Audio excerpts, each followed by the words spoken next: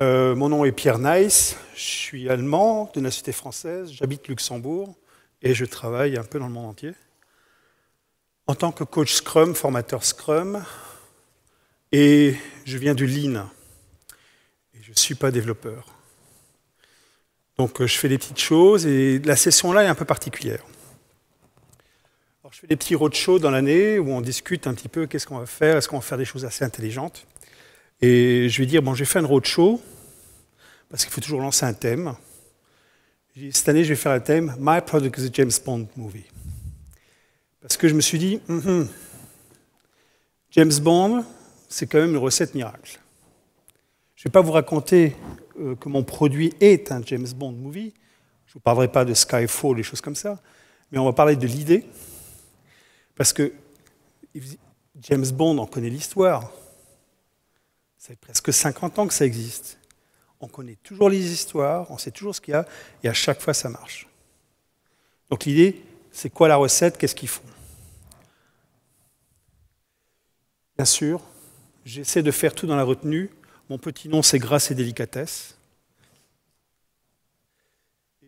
Aujourd'hui, je m'excuse, je fais une petite aparté. Je vais dédier ça à ma tante qui vient de décéder hier. C'est le docteur Elisabeth Kohlmeier.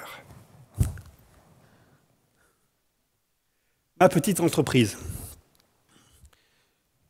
J'ai démarré une start-up. Ma start-up était super. J'ai créé ma, petite entreprise à moi, mon bijou, ce que je veux faire. On a fait plein de trucs super sympas. Mon équipe est une super équipe. On s'entend bien, on fait plein de choses super sympas. On a quoi? On utilise des techniques agiles. On a tout, on fait tout. Du Lean Startup, on utilise toutes les techniques. Tout, tout, tout, tout, tout, tout, tout. Ça fonctionne, ça marche super bien, on est content les sous rentrent, je gagne de l'argent. Plein de choses, énormément d'argent, ça fonctionne. On a de plus en plus de clients, on a de plus en plus d'équipes, on grossit à vue d'œil. Nous sommes globaux. En français, on appelle, je crois, mondiaux. On est distribué, on est partout. On n'est plus une entreprise française ou localisée, on est partout. Mais je ne suis pas content. Pourquoi je ne suis pas content? Je ne sais pas. Mon équipe, elle est super pro. On est dans l'amélioration continue. C'est des super cadors. Les mecs, ils ont démarré, ou les filles, ils ont démarré à zéro. Maintenant, c'est des cadors. Ils donnent des conférences, ils écrivent des bouquins. C'est le pied. Mais je ne suis pas content. Comment que ça se fait? Les bugs sont fixés. Pas de problème de qualité, ça marche. On a notre produit est devenu un standard. C'est devenu un truc qui fonctionne bien et qui roule et ça ronronne et ça roule. Mais je suis toujours pas content. Pourquoi je suis pas content? J'ai atteint mes objectifs, pour toi, je ne suis pas content. J'ai créé ma start-up, j'ai démarré de zéro, c'était le rêve de toujours. Ma mère était contente de moi, j'ai fait une start-up et tout. J'ai fait ma start-up, j'ai fait mon truc, mon idée de génie, et tout le monde a suivi. Et les gens m'ont suivi, et ça marchait, j'ai gagné de l'argent. Maintenant, j'ai tout, et je ne suis pas content. Comment que ça se fait? En fin de compte, moi, je veux avoir les, les, mêmes interactions avec les gens, avec mes clients comme avant. Simplement dire, l'argent n'était pas ce que je voulais vraiment. Moi, c'était l'interaction, l'excitation que j'ai avec les gens. C'est ça qui m'intéressait. C'est fait pour les petites têtes. Hein, moi, je veux que mes clients soient excités d'attendre nos réunions d'estimation et nos revues. Ça veut dire qu'ils y participent. Hein. Ils sont excités. C'est plus vraiment des clients. C'est de la famille. Je veux que mes clients me téléphonent tout le temps pour une nouvelle fonctionnalité. Je n'ai pas créé un back-office, un middle office parce qu'ils me dérangent tous les cinq minutes. Ils sont là. Je veux avoir un retour. Je veux que mes équipes sachent ce qu'elles font, pour qui et pourquoi elles le font. On est dans le développement, on a une partie recherche. On ne va pas faire du code sur une nouvelle technologie juste pour le code. Ça, c'est ce qu'on vous vend, mais dans la réalité, vous êtes là pour faire de l'argent. Ce n'est pas un problème, on fait de l'argent. Si tout le monde s'y retrouve, c'est bien. Mais on fait de l'argent. Je pense avant, je pense qu'il a raison. Pourquoi? Je vais vous l'expliquer maintenant. Eux ont dit un truc. Marcos Egahomes, Adam St. Lawrence, Global Service Jam. Doing, not talking. Dans une session, ils ont expliqué un truc. La dynamique des gens est basée sur le scénario de James Bond. Et comment constituer un scénario de James Bond? C'est constitué par un boom, un yeah, un yeah, un yeah, un boom. Et le petit yeah, c'est quand James Bond part avec la James Bond girl. Et, Adam m'a dit hier soir, ce n'est plus vrai maintenant, nous avons encore un yeah en plus, parce que James Bond a changé. Mais je vais m'arrêter ici, à la version d'avant le nouveau, le blond. Moi, je suis encore James Bond brun, le macho man. bon, euh, sinon je suis obligé de refaire mon modèle et ça colle pas. C'est pour le business. Alors, vous voulez sentir le boom? On va essayer de faire un boom. Je livre un premier, premier, un premier produit, ça fait boum. Vous pouvez me dire après moi boum Boum Ça, c'est un boom de fiotte. Boum Après, ça fait yeah Allez Yeah. Et après, yeah. Yeah. Après, yeah. Et après, c'est boum. Et après, yeah. Ça, c'est ce que doit faire votre produit aussi. Votre entreprise, si vous voulez un truc, que ce soit... Oui, d'accord, c'est un peu animal, mais je sais d'où je viens. Enfin, du moins, j'ose espérer. connaître mon père et ma mère, il y a presque 50 ans. Ils ont fait ça aussi. Ok. Grâce et délicatesse. Tout est dans la, grâce. En fin de compte, cette idée complètement stupide qui est basée sur la dynamique des choses, ce qu'on a volé, c'est ce vous avez volé sur la dynamique du théâtre, je me suis dit, hé, on n'aurait pas quelque chose là pour aller un peu plus loin, avec une idée un peu plus folle. On a oublié quelque chose, on sait raconter une histoire, mais on a oublié l'intensité. L'intensité de l'histoire. Ici, on est tous des super scrummers, donc on sait ce que c'est qu'une roadmap, on sait ce que c'est du story mapping, on sait que le product owner travaille dans l'équipe. enfin, ouais, j'espère. Mais on sait qu'on livre un produit, qu'on travaille sur un produit, mais qu'on a des users qui sont là tout le temps, qui sont ouais À la review, c'est ouais Une review, c'est pas une démo. Là, on a fait comme ça, ah, bravo, vous avez bien fait. Non. C'est une vraie review où les clients disent Ah oui, tu peux me le faire encore en bleu et tu peux me rajouter ça. Je dis hum, C'est un peu compliqué, mais je peux te le faire pour toi. Parce que c'est toi. Hein c'est cette idée-là qu'on n'a pas. L'intensité. My product is a James Bond movie. C'est la cinquième partie. C'est l'évolution de la roadshow. Et aujourd'hui, je vais vous présenter ce que j'appelle la James Bond movie pattern. Donc il n'y a pas que de l'idée, il y a aussi un peu de, un peu de consistance. C'est la partie 5. Ça a commencé à Bruxelles. On l'a fait deux fois à Beyrouth. Je l'ai fait un peu à Luxembourg. Là, je la fais encore chez vous, où vous avez la primeur d'avoir la pattern. C'est un yeah. Après, on va, je vais sur Cracovie, un peu plus loin, pour le faire et sortir. Mais j'ai besoin de vous pour la faire évoluer. Ça, ça n'a pas de sens de dire que, ouais, c'est encore Pierre qui a sorti un truc à deux balles. C'est encore Pierre qui a sorti un truc à deux balles. Mais ça va être inspiré, faire en sorte que vous livrez plus de produits. Et je vous expliquer comment je teste dans mes équipes, avec une idée aussi saugrenue que celle-ci. Je vous expliquer comment on peut le faire. Et vous avez le droit d'interagir, pas me dire, mon Dieu, qu'est-ce qu'il nous raconte? Je suis ce qu'on appelle un coach un trainer Scrum, mais également Lean Kanban. Je m'occupe du Product Owner Helpdesk sur euh, LinkedIn. Je ne sais pas si les gens connaissent. On a à peu près 1500 à l'heure actuelle. Euh, j'ai fait Play, Play 14, qui est un Serious Games Gathering international qui a été fait à Luxembourg. Euh, Play for Agile, a plein de petites fantaisies comme ça, comme le ligne comme en France également. Ce qui est intéressant, c'est interagir avec vous, me dire Pierre, ton idée à la con, j'ai testé, j'ai fait mieux. Ouais, dis-moi. Mais je travaille aussi avec des vrais clients. Je passe quand même 90% de mon temps sur le terrain avec des gens, des vrais gens, en chair et on essaie de faire du boom, yé, boom. J'explique ça, par exemple, bord d'une direction d'une grande banque. Alors votre produit n'est pas bon, faites boum, yé, boum, et les gars vous retournent comme ça, pardon. Ils sont plus circonspects que vous. Hein. Vous dire, hum, intéressant, tu peux nous attendre? Ok. Donc euh, voilà, ça c'est moi. On passe très vite dessus. Ça c'est la pattern. Une pattern, c'est une idée de conception de base auquel on va penser pour faire quoi que ce soit. Pour que tous nos développements racontent une histoire excitante pour livrer des solutions que nos utilisants adoreront, Élaborez un scénario de livraison en plusieurs chapitres et mettez-y une intention et une intensité qui fasse boum, yé, boum.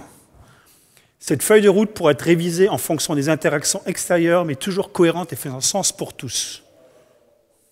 C'est déjà sur SlideShare depuis hier. Tu vas, tu télécharges. C'est hop.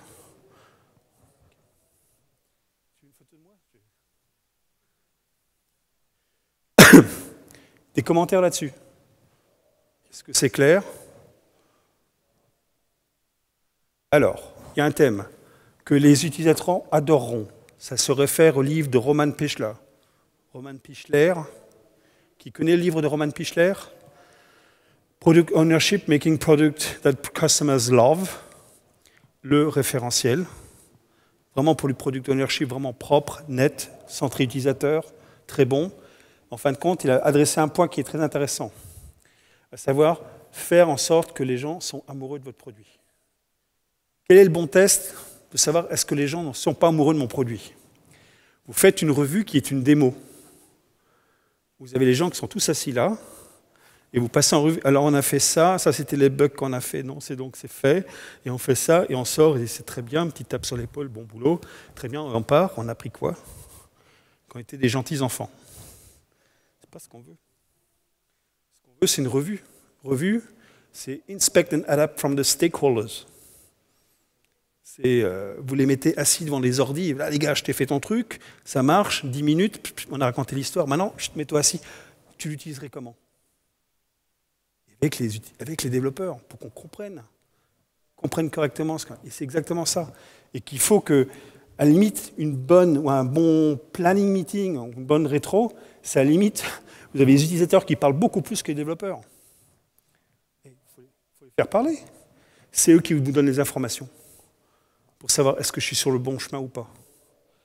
Donc c'est ça ce qu'on oublie un petit peu. Ensuite, deuxième, également, deuxième point, c'est ah mes utilisateurs, ah ben non, on les a pas invités on, démarre, on va démarrer un projet le lundi matin. Alors les gars, vous allez me faire euh, cette migration-là tout de suite, euh, machin. Et vous pouvez poser juste la bonne question, tu as joué au golf avec qui hier? ne pas de sens. Vous démarrez un projet, projet Scrum, la première question, c'est simplement dire, c'est pour qui? C'est qui les utilisateurs? Interne, externe, il y a toujours un utilisateur. Dans un autre, J'étais dans une grosse compagnie d'assurance à Bruxelles. On est là, on n'avait pas d'utilisateurs, sauf qu'ils n'avaient pas fait la migration XP.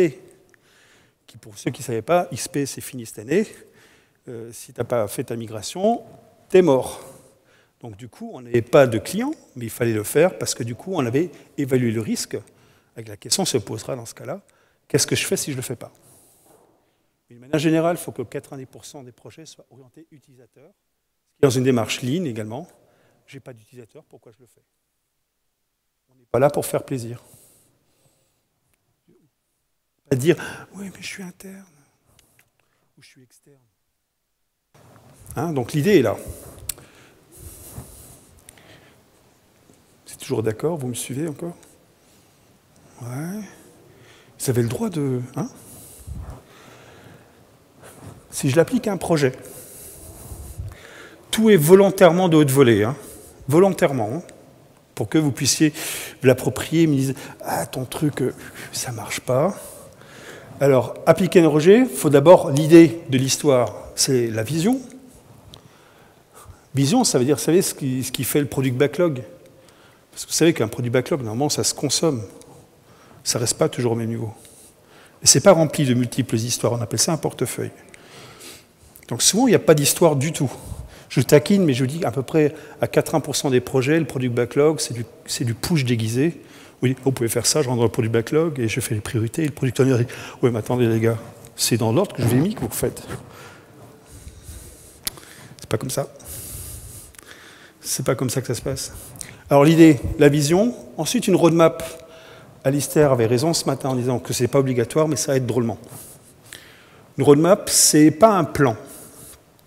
C'est simplement dire, voilà, vous pouvez faire un jeu, ok, si je veux finir dans 5 mois, si je veux livrer tout ton petit projet dans 5 mois, faites ensuite un rétro-planning, dit, ok, donc dans 4 mois on sera où, dans 3 mois on sera où, etc. Tous les projets marchent comme ça. Avant d'être ici, je suis du PMI, du Prince 2, des choses comme ça. On fait de la gestion de projet dur et. On fait, quand on fait du scope, on fait un rétro-planning. Le rétro-planning est une histoire. Si vous n'avez pas d'histoire à raconter, dites-vous bien que vous pouvez en avoir plusieurs autres qui risquent de rentrer dedans, parce que la nature n'aime pas le vide. Donc, on a une histoire, c'est la feuille de route, et après on peut voir, je suis en avance, je suis en retard, je serai très bien. C'est pas un Donc la feuille de route, la roadmap, qui constitue également des thèmes et des produits backlog. Thème, qui connaît ça? Je me réfère à quoi?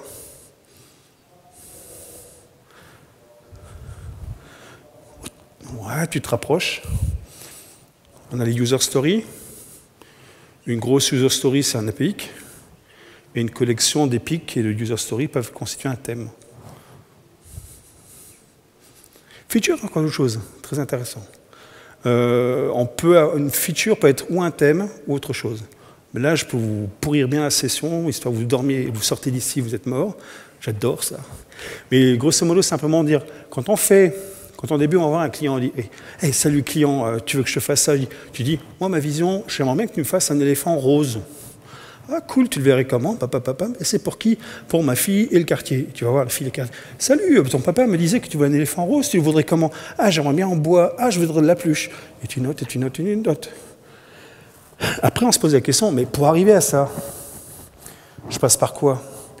Bon, c'est des enfants. Je peux la faire venir une fois, pour expliquer. J'ai des bonbons, des machins. Mais comment je vais faire pour qu'elle revienne à chaque fois et qu'elle ait envie de revenir à chaque fois? Il faut qu'elle faut qu'elle d'abord comprenne. Si je viens à chaque fois et me montre, oh, vous avez vu le joli code que j'ai fait? Ah, Et attends, j'ai fait une architecture fonctionnelle et technique. Le gars, il va venir de Chine, il va dire, ah, très bien, il n'a rien compris. Hein. Ça, c'est votre façon de faire, c'est parfait, c'est ce qu'il faut faire. Mais dites-vous bien que les gens en face de vous, ce pas forcément des gens qui, sont dans votre peau qui vous comprennent. Et on est juste là, c'est comme un show, c'est comme ce que je fais ici, c'est une histoire qu'on raconte. Donc l'idée, c'est qu'on a un thème, je dis, ok, d'accord, d'abord je vais lui faire un joli dessin pour voir avec plusieurs, avec plusieurs options. Si je lui fais qu'un dessin, on aura le choix entre moi et quelqu'un d'autre. Je veux qu'il ait le choix entre moi, moi et moi. Trois options pouvez utiliser Real Options, peu ce qui est bien. Mais on a trois options. On va choisir les options. Ah, je vais comme ça, je les fais comme ça. Les idées. Et, ah ouais, j'adore. Le faire. Et après, vous faites une maquette. Et après, vous commencez à la faire, la monter, à fabriquer. Et après, vous la livrez plus tôt qu'au prévu. Ça fait boum. Et tu sais quoi J'ai encore un mois de temps et je peux te mettre ici encore un peu de chevelure d'ange. Et je peux mettre un peu de fleurs. Et, je te mets une sonnette. Et on met des roulettes. C'est l'idée. Le côté est peut-être stupide et assez drôle, mais il faut sortir du contexte qu'en fin de compte, ce qu'on fait nous, dans notre métier, on livre des éléphants roses ou des chevaux de feu pour les enfants, sauf que nos enfants sont grands, ils sont plus dessous et ils veulent ça. Moi j'ai un problème, je ne suis pas connecté comme les filles. Moi j'ai du mal à faire des cadeaux. Ici on parle de cadeaux. Simplement, ce qu'on dit que ce qu'on fait une livraison, quand tu fais une démo, quand tu fais une review, l'idée c'est que faites-en un petit peu plus du style, voilà, j'ai fait ce que je t'ai demandé, mais attention, avec l'équipe, on a eu le temps, on vous a fait encore deux, trois trucs en main, et si je te faisais ça, et si je te faisais ça, et si je te faisais ça. Et le mec il dit, même s'il ne le prend pas tout ça, il dit, ces gens-là, ils sont super intéressants, ils m'écoutent, et j'ai envie de travailler avec eux, et vous avez fait le match, et vous devenez James Bond. Et vous devenez un héros. Un vrai héros. Avec des grosses voitures anglaises, toujours en smoking, toujours super bien fait. Mais ça, il y a des implications à faire. Les implications qui vont se poser là-dessus, c'est dans les sprints. On s'est rendu compte qu'il faut trouver un équilibre, un juste équilibre entre fonctionnalité et technique. Je m'explique. Euh, dans mes équipes l'an passé, je me suis rendu compte, à un moment donné, je les ai fait vraiment souffrir. Pendant un mois et demi, ça fait trois sprints, ils ont fait que du bug fixing. Ils n'étaient pas bien. Et euh, quand on a fait une démo, tu fais une démo avec tes clients aux États-Unis, un peu partout, et on est tous là, et c'est enregistré sur WebEx, où il y a à peu près 40 personnes qui regardent, et on a fait du bug fixing C'est pas cool. C'est parce que je suis un peu sadique. Je suis pas un coach gentil, je suis un coach méchant. Et euh, après, ce qu'on a fait, on a fait la chose différente. Je dis, voilà, on va faire un deal. Quand on fait le planning du sprint, on se pose toujours une vraie question. Mais je fais quoi? Est-ce que je livre que des fonctionnalités? Si je livre que des fonctionnalités, je vais, avoir un problème de qualité après. Ou je reporte au calendrier grec euh, mes, mes, problèmes de refactoring et mes problèmes de qualité. Euh, si on lit la théorie, il faut tout livrer en même temps et tout le monde est beau. On est chez Disney, ça marche ici. D'accord Moi, j'ai bossé avec des gens qui sont à Scottsdale, Arizona. Le premier truc que j'aurais demandé pour protéger l'équipe, désabonnez-vous de Disney Channel et regardez la réalité en face. C'est pas aussi beau que ça en a l'air. Alors le deal qu'on a fait, c'est simplement dire voilà, avec mes équipes, on a défini, on avait des sprints de deux semaines, il y a 90 minutes de review, dont à 90 minutes de review, on a mis à peu près une demi-heure de démo, et après de débat forcé, et on s'est dit voilà, j'aurais fait le deal, les gars, Là, il y a beaucoup de choses à refaire. Là, ils veulent des fonctionnalités. C'est des Américains, ils veulent des fonctionnalités. C'est pourquoi il faut faire ah, because. Non, ça, ça marche pas. Alors on a dit voilà, on fait en fonctionnalité ce qu'on peut montrer en 90 minutes. Et le reste, c'est de la qualité. Et j'ai utilisé l'approche yeah. Alors du coup, on a montré moins de fonctionnalités, mais on a montré des choses qui sont ça a protégé notre équipe et on a fixé notre qualité en même temps. On a pirouetté le système. Et du coup, ça nous a créé la première dynamique, c'était pour faire une petite entourloupe euh, au système. Et après, très très très rapidement, c'est devenu l'habitude. Donc systématiquement, c'est donc maintenant même les Scrum Masters avec qui j'ai travaillé, ils partent du principe quand je prépare quand je prépare un sprint ou une review, même la préparation de planning du sprint, les nouvelles fonctionnalités, c'est juste à hauteur de ce que je peux montrer.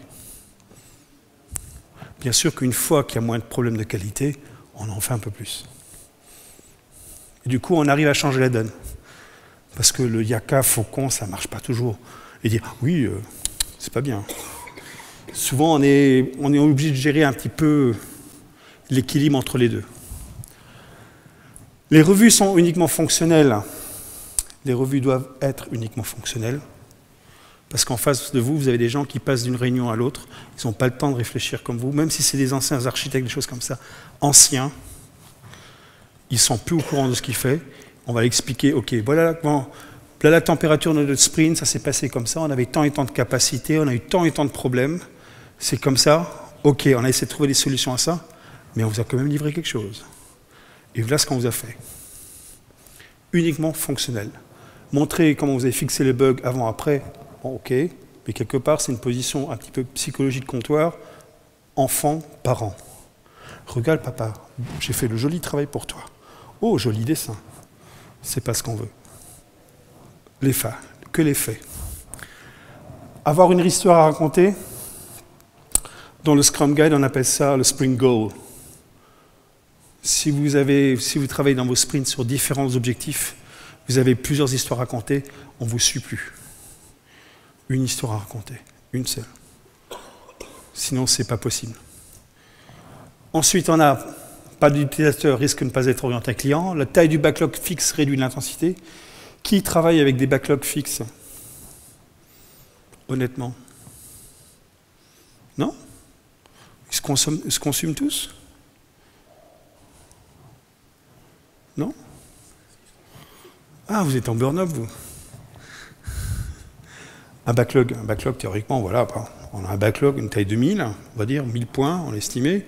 J'ai une vélocité de 200, je sais qu'il faut 5 sprints pour me le consommer. Donc, c'est ça. Oui, ça c'est pour le prochain release. Si j'arrive en fin de release et en fin de compte, j'ai mon backlog qui est toujours comme ça, et parce que j'ai des nouveaux trucs qui sont arrivés, quel est l'intérêt? Où est-ce que je vois mon, l'achèvement? D'accord, mais ce qui arrive quand on est en début de release, ce qui, arrive en dernier n'est pas forcément ce qui est le moins intéressant. Donc ça ne restera pas forcément en bas du backlog. Ouais, mais la taille décroît. Je vais te montrer après, j'ai un petit slide derrière. Non, mais je, taquine un petit peu volontairement parce que typiquement, c'est des choses auxquelles On ne voit pas trop le, schéma. Mais ce n'est pas compliqué. Euh, prioriser en fonction de l'histoire à raconter. Là, c'est le product owner. Là, c'est beaucoup, beaucoup pour les product owners, pour savoir, OK, qu'est-ce que j'ai raconté, quel c'est le thème, et quel est le sous-thème, qu'est-ce que c'est, quelle est l'histoire que je vais raconter, avec un objectif, c'est qu'un release, c'est un produit qu'on va donner à un bêta groupe pour qu'ils vont nous tester, avant de faire une release, une grosse release. Qu'on puisse avoir vraiment quelque chose que les utilisateurs puissent triturer et travailler avec. Ensuite, le produit backlog devra décroître, augmenter la power of achievement, power achievement, gamification, dans l'approche de partir du principe une orienter jeu. Si je considère à peu près euh, la dynamique d'une équipe comme un jeu, la notion de gamification, quand on construit un jeu ou un jeu en ligne, ce qui est intéressant, c'est d'atteindre l'objectif. C'est se dire, je veux atteindre l'objectif. Là, pour l'instant, on est comme si on prenait la voiture un samedi matin à Paris, je veux partir en vacances. Ou je ne sais pas, mais je veux partir en vacances. Combien de temps Je ne sais pas. C'est pas top. Mais par contre, c'est plutôt, je pars en vacances dans le sud de la France, je vais à Marseille, dans les Calanques à Marseille, ou je vais à Cassis à partir de Paris, j'ai mon, mon GPS, j'avance tout droit, et j'ai à peu près une journée pour y arriver, mais j'ai Bison Futé qui me dit, il y a des bouchons, il n'y a pas de bouchons. C'est ça l'histoire. L'important, c'est que si vous êtes tout seul, vous êtes amoureux avec votre chérie ou votre chérie, vous baladez, vous avez le temps d'arriver. Mais dès que vous avez des enfants, que vous passez, certainement vous sortez du périphérique, et quand est-ce qu'on arrive? Ça, c'est Power Achievement. Euh, on est tous pareils. Je dirais à un moment donné, c'est que si on arrive dans le bureau, dans une équipe, on est dans une équipe, on est sur la dynamique, on est sur la motivation. Vous arrivez sur une équipe le matin, je dis qu'est-ce que je fais? Oh, ben, Je continue à bosser sur ce truc. Hein.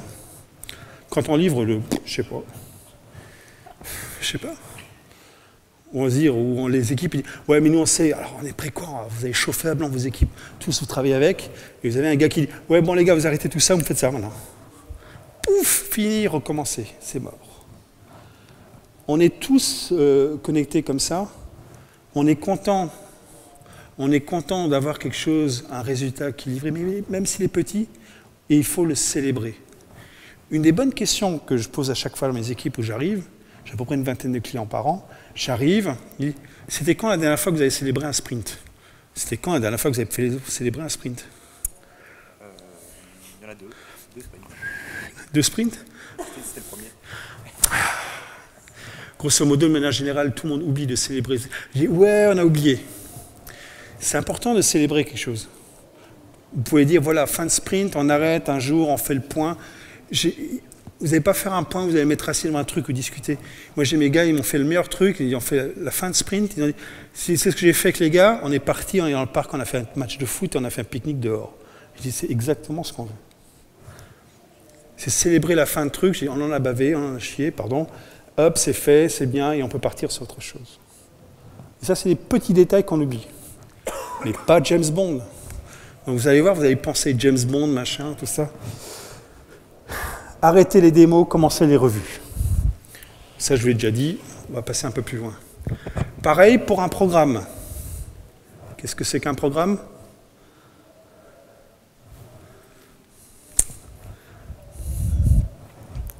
Une petite pause. Un peu de méthodologie. Alors un projet, c'est un projet unique avec un délivrable unique, avec une équipe unique et un budget unique. Dès que vous avez plusieurs équipes sur un projet, c'est pas un projet, c'est un programme. Et ça ne se gère plus du tout de la même manière. Grosso modo, il y a très très très peu de gens qui savent gérer des programmes. C'est pour ça que souvent ils se mettent la tête dans le mur. Parce qu'on a une notion d'alignement, de vitesse qui sont différentes, d'équipes qui sont différentes. C'est le grand débat qu'on a à l'heure actuelle, c'est pour ça qu'on va parler du projet SAFE, Scaled Agile Framework, avec l'Agile Release Train, des choses comme ça. Parce qu'on se rend compte que maintenant, les équipes agiles, en 13 ans, on est devenues plus grosses.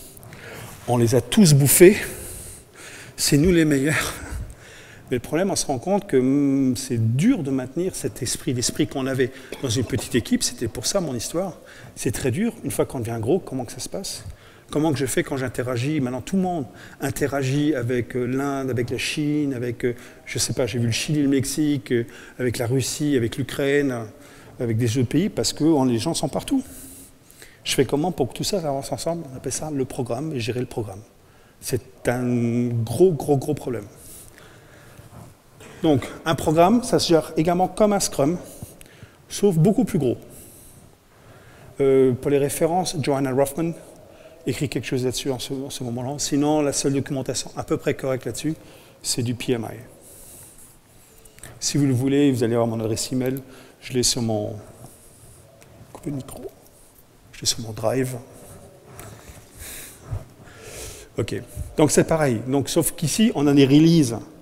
Nos releases sont boom, yé, yé, boom. Il faut qu'on ait des releases qui fassent. Waouh Quand l'iPhone sort, comment font les gens? Ils dorment devant la boutique.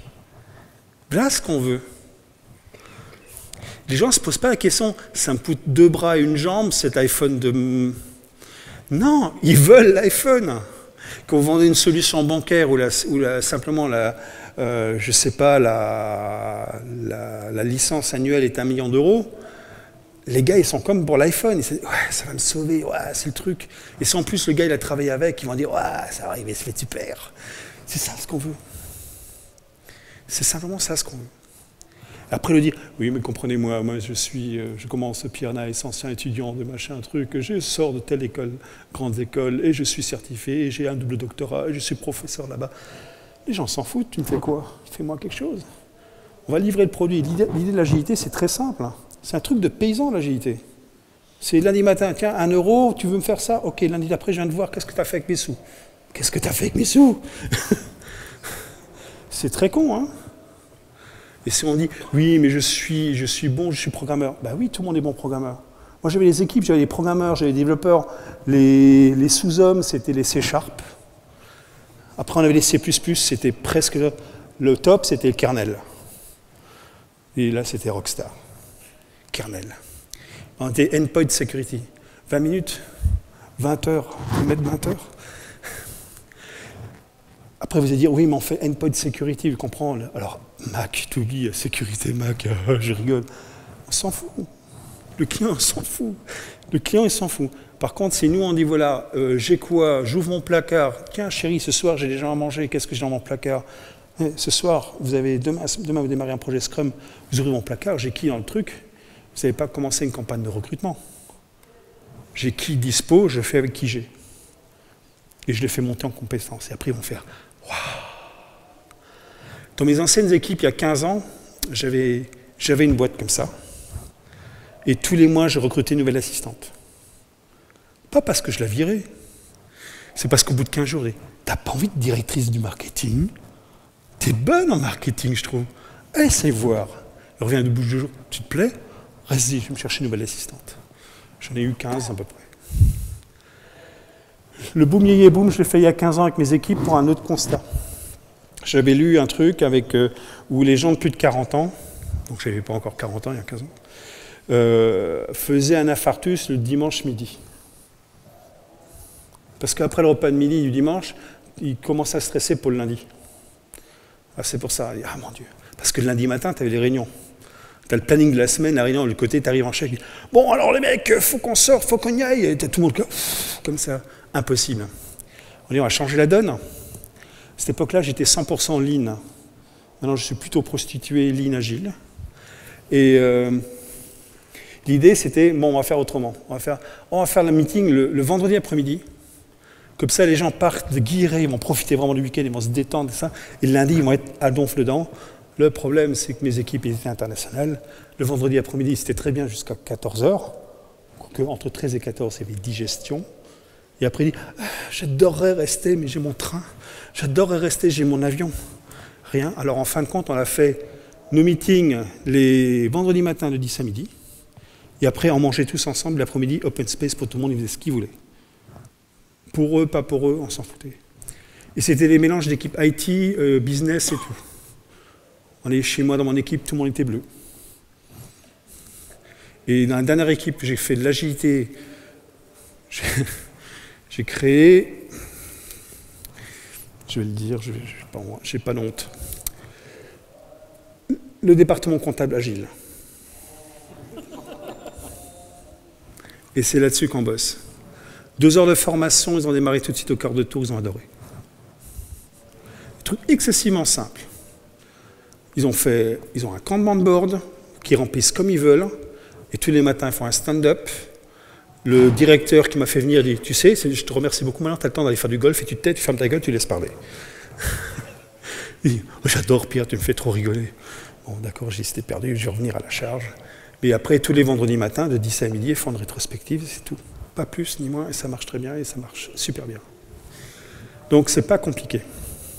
Et on peut faire partout, dans la recherche, avec les enfants, etc. Et ça marche. Et toujours, si vous voulez tester l'agilité, savoir si vous savez, tester avec des enfants. Un repas de famille avec des enfants, ou les anniversaires. Si vous ne faites pas de boum, yé, boum avec des enfants, vous les perdez dans les cinq minutes. Ils veulent une histoire. Les gens que vous allez en face de vous, ils ont peut-être des costumes à cravate, ou ils ont peut-être, comme certains de mes clients, ils ont à peu près un an de mon salaire juste en tenue du jour.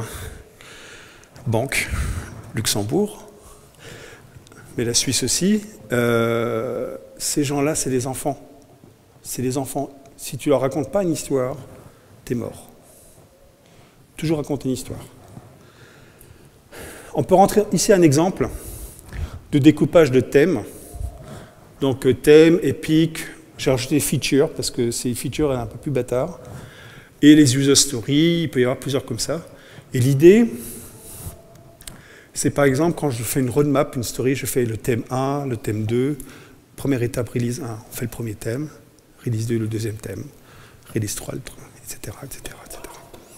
Ça c'est l'idée. Mais ça, il bouge, il travaille tout le temps en même temps.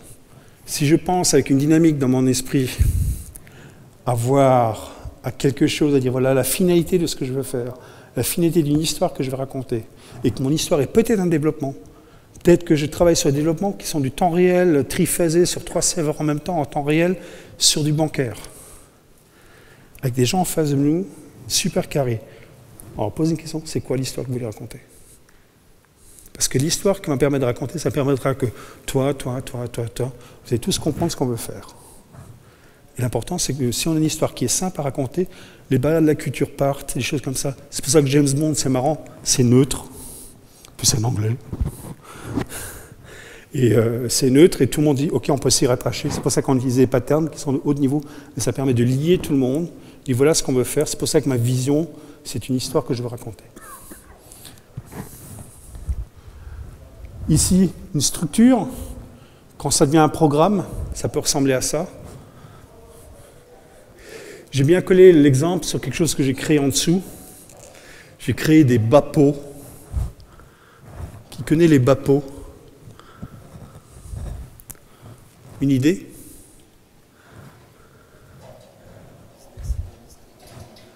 Business Analyst Product Owner.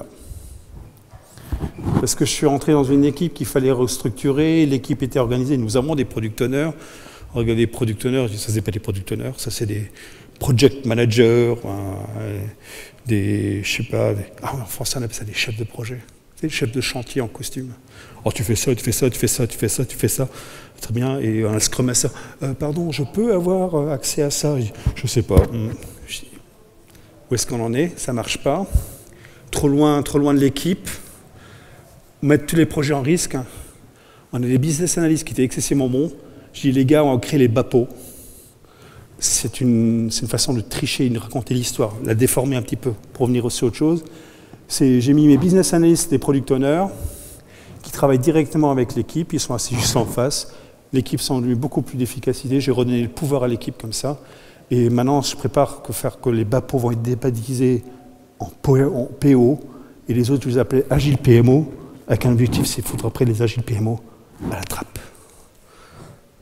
Et pas tout en même temps. Donc ça, c'est l'histoire, savoir comment faire. C'est toujours une histoire qu'on raconte. Et ça peut ressembler à ça. Ici, c'est des choses un peu plus compliquées. Ça, c'est un gros programme. Simplement pour montrer que ce n'est pas compliqué. Ça peut ressembler à un projet. Un programme, c'était là, j'avais, on avait 50 projets à livrer en 6 mois. Et on l'a fait. Et là, j'ai dit burn down. Parce que si je n'avais pas laissé ce côté d'achievement, on va dire ici, c'est tout est factice, hein, mais ici à 6 mois, J'aurais maintenu la migration du produit super important ici, qui rapportait zéro valeur et qui nous pourrissait qui nous aurait bloqué tout ça. Parce que je suis un méchant, et je suis méchant surtout avec le management, parce que si je fais décroître mon produit backlog, mon release backlog, au management, je vais savoir que tous les changements qu'ils font, je ne fais pas de changement gratuit. Ils m'ont fait changer les choses ici, dans la partie 2. Ils m'ont dit, OK, oui, ça c'est super urgent. J'ai OK, lequel j'enlève? J'ai un backlog en post-it, avec des gros post-it géants. Et je suis comme ça, comme un sadique. Ouais, il faut faire ça tout de suite. Ouais, OK, très bien. Je enlève celui-là, cloc. Après, cloc. Hey 10 minutes. OK. Donc euh, je fais ça et tout ça. Mais après, je leur explique, attends, t'inquiète pas. Tout ce que je vais avoir en dessous, c'est pour la prochaine release qui va venir ici. Ce qui me protège, le change. Ce qui protège l'équipe, dire, on a quand même fini, quelque chose. Ce qui me protège les demandes qui sont un petit peu exubérantes, qui n'ont rien à voir avec mon projet. Quand vous regardez, nous on travaille sur un projet, les équipes, elles ne travaillent pas sur un projet. Elles travaillent sur 5, 10 projets en même temps. Et ça, c'est pas Scrum. Ça peut être agile, ça peut être du Lean Kanban, ce qu'on veut. C'est souvent du n'importe quoi.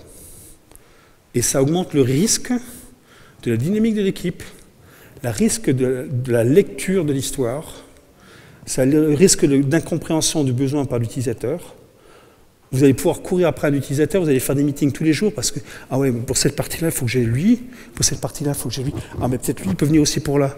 Ah, du coup, vous avez un gars qui va venir pour deux projets différents. Vous le perdez au bout d'un mois. Faites simple. Limitez le whip. C'est clair? Ouais. Ouais, Pierre, c'est clair. Ouais, yeah. Là, je vous ai perdu déjà. Hein. Vous êtes euh, tous. Euh, c'est pas des vitamines pour mon audience, là, ils sont morts, je les ai tués. En face, ça j'aime bien le faire le matin parce qu'ils sont en train de se réveiller, encore un peu, il y a encore un peu de peps.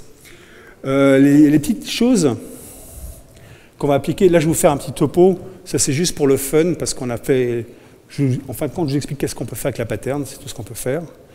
Ici, comment on peut appliquer une organisation? Ça fait 4 ans que je fais de l'organisation agile. C'est pas de la petite du gros gras, 4000, 5000, 10 000 personnes. Ouais, on veut devenir agile.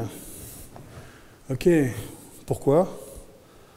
Ah ouais, parce que c'est bien et que les clients vont être contents, on a un retour sur investissement. Euh, pourquoi? Gartner, ça fait 4 ans qu'il me bassine la tête, il faut que je le fasse, et si je ne le fais pas, je passe pour un con. Je dis ok, pourquoi? Je dis joue au golf avec le directeur de la SI à côté, il m'a dit oui, il l'a déjà fait, il attend, il va me faire la honte. C'est des gamins. Si pourquoi quelqu'un me dit je vais faire pourquoi, je vais faire de l'agilité parce que j'y crois, c'est clair, ne le croyez pas. L'agilité, c'est un truc qui est super bien, ce auquel je crois, et c'est fait pour faire gagner de l'argent. Demandez à un externe ou quelqu'un qui est ou un consultant externe qui travaille dans une équipe.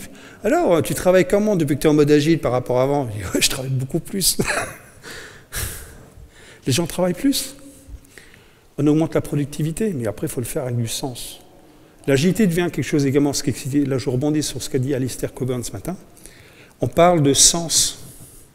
On est sur une forme de philosophie, quelque chose qui va créer du sens. Nous, quand vous faites de on sent qu'il y a quelque chose de nous, qu'on appelle ça du bon sens, mais quelque chose qui va nous lier. On veut faire ça parce que ça fait du sens, ça nous construit quelque chose. C'est comme la responsabilité sociétale d'entreprise. C'est moi, j'ai envie. Vous n'allez plus choisir d'aller travailler dans telle entreprise, telle entreprise. Vous allez choisir l'entreprise qui agile ou qui fait ceci, qui fait cela, parce que c'est vous, quoi. Parce que c'est trop de la balle. Ça déchire grave. je parle peut-être vieux. Là, je me mélange dans les langues. Donc les questions qu'on se pose à l'entreprise, je arriver ici d'une manière beaucoup plus sensée, beaucoup plus relaxe, beaucoup moins coach, plus consultant, conseiller. Quelle est l'histoire de votre organisation? Est-ce que vous connaissez l'histoire de votre organisation? Euh, Qui sont vos clients? Quelle est votre audience de l'organisation? C'est quelle est votre pièce de théâtre? C'est qui? Vous jouez pour qui? Je joue pour mes clients. J'ai vu tes comptes, tu joues pour ton banquier. hein, où tu joues pour euh, ton financier qui est aux États-Unis ou ton venture capitaliste qui est à Luxembourg. Euh, tu joues pour qui? C'est pas un problème. Il faut être clair, il faut dire voilà. Est-ce que tout le monde connaît l'histoire de l'entreprise? Quand je démarrais en ligne, je faisais des organisations en ligne, le premier truc que je faisais, j'arrivais un jour à l'avant, le soir, la veille, je passais, je voyais les femmes de ménage, ou je voyais le jardinier, je dis Tu sais ce qu'ils font ici? S'ils ne savaient pas, c'est un mauvais point. Il faut que tout le monde doit savoir que l'histoire est simple de l'entreprise, que tout le monde doit savoir que l'entreprise, l'entreprise, le groupe, le département, l'équipe, que tout le monde doit savoir qu'est-ce qu'on fait. Si tu ne sais pas ce que tu fais, tu ne sais pas vers quoi tu vas.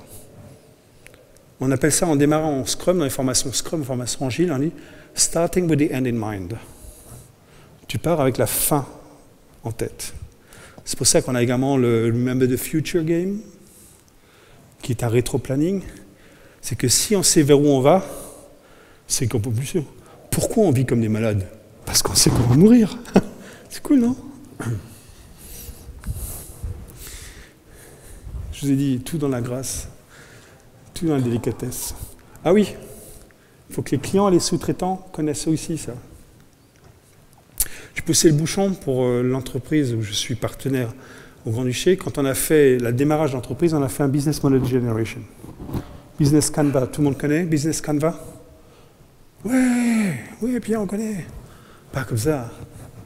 On est dans le monde agile, on est des extravertis, complètement fous. Ouais On est. Donc on l'a fait, mais on l'a pas fait de manière normale. J'ai créé un jeu là-dessus qui dure à peu près deux heures, et on a invité nos clients, nos fournisseurs, le banquier. Au début, ils étaient très circonspects. Mais pourquoi vous nous invitez? C'est votre modèle à vous Je dis oui, mais vous allez en faire partie, les enfants. Donc on m'a raconté, on a fait tout ça, ils sont sortis au bout de trois heures. La banane, ils savaient exactement, et j'avais mes utilisateurs, et j'avais mes stakeholders, et je pouvais raconter. Ils avaient participé à la création de l'histoire, et on a créé une histoire, et l'histoire est continue. Et ça marche. Et ça marche. Au début, on se dit, oui, mais attends, on ne peut pas tout dévoiler. Si tu caches, c'est pas bon on est quand même ce côté de rendre l'implicite explicite. Non? Oui, yeah, c'est ça. C'est tout. Hein. Je suis si mauvais que ça. Hein. Je fais du bien. une autre histoire, d'autres techniques qui viennent. Ici, ça s'appelle le Hoshinkanri. Qui connaît le Hoshinkanri Ouais. Ouais, ce sera pour l'année prochaine. Hein.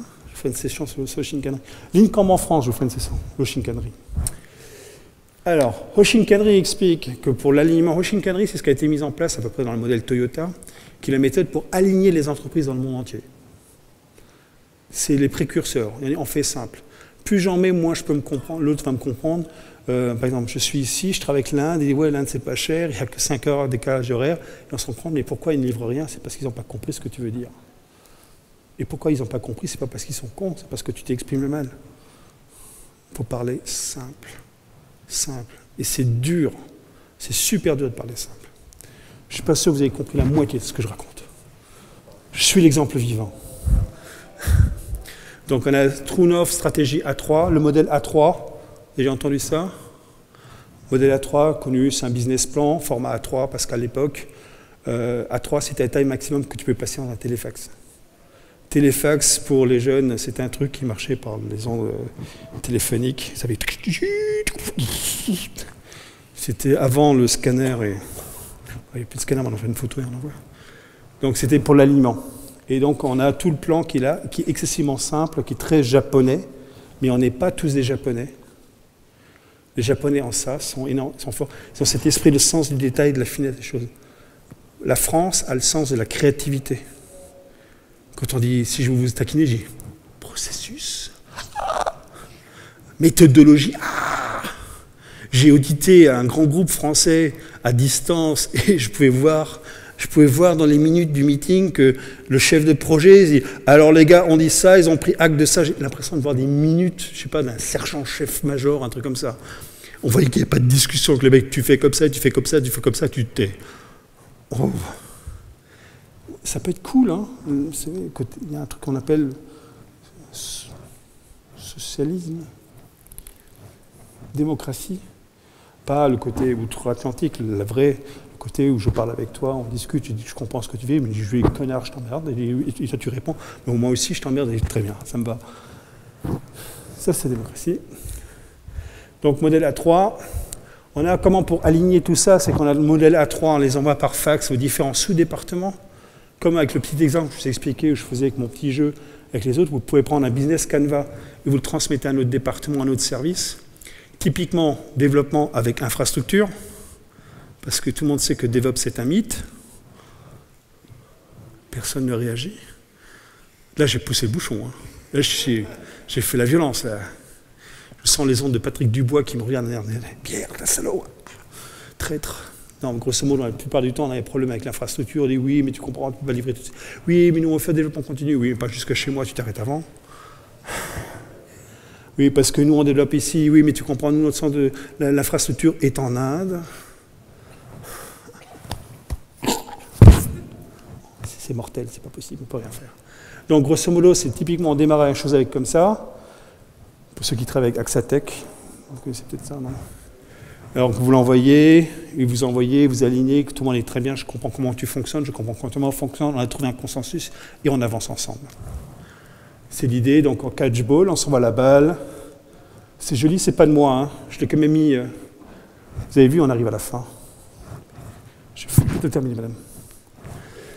Alors ici, euh, comment ça peut ressembler à un plan, une organisation? Le modèle que Alistair a montré de chez euh, de Henrik Knieberg, était beaucoup plus sympa. Ça, c'est un modèle beaucoup plus McKinsey. Hein, c'est comme ça que ça se fait.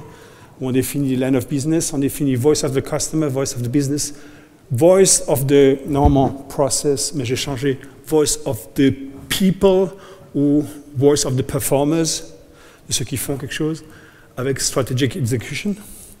Je vous zappe dessus, c'était juste des exemples. Conclusion, les diamants sont éternels. Quelques points sans vous retenir. Un grand maître à penser qui est normalement là chaque année à l'INCAMP en France, qui va se dérouler au mois d'octobre, encore cette année, avec une équipe d'organisation super bien. Des gens super. Quelqu'un d'exceptionnel. Il explique que simplement que le problème principal qu'on a avec tout le développement, c'est une notion d'alignement, le coût du délai et les feedbacks.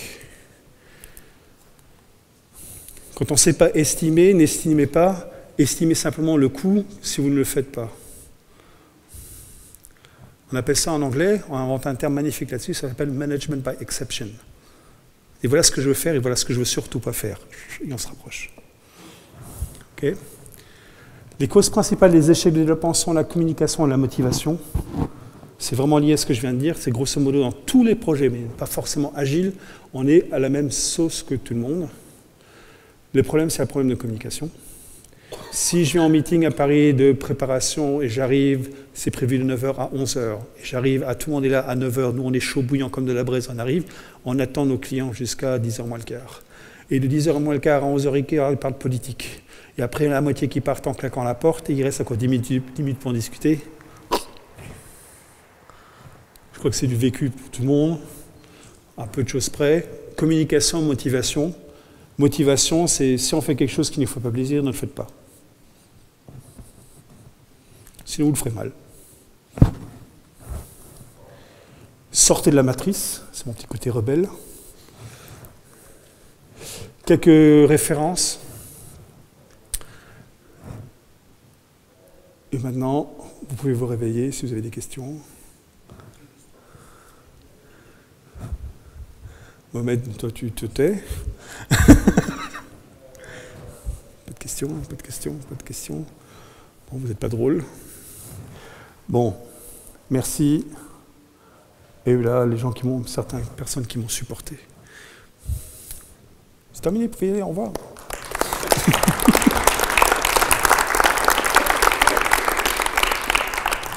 Je l'avoue, c'est conceptuel. L'objectif, c'est cette conceptuel, ça va se retravailler. Et dans tous les cas, c'est là, vous avez mon adresse email. Si vous avez des idées, de côté que vous dites, voilà, ça, ça marche, ça marche pas, vous les partagez. Normalement, j'ai prévu le mois d'octobre de mettre un blog, et après de faire un petit bouquin avec, un bouquin avec tous les gens qui ont contribué. Parce que je pense que c'est des choses qui sont de haute volée, comme l'agilité en ligne manifesto, c'est un truc de très haute volée, euh, mais avec des répercussions très fortes. C'est que si on pense à des petites idées qui ne sont pas trop, idiotes là-dedans, tester, valider plusieurs fois, c'est scientifique. Il n'y a pas eu deux personnes, ma mère et ma grand-mère, mais il y a eu euh, à peu près 300-400 personnes qui, ont souffert euh, avec mes idées un peu bizarres. Merci de votre patience et votre temps. Et encore une bonne soirée.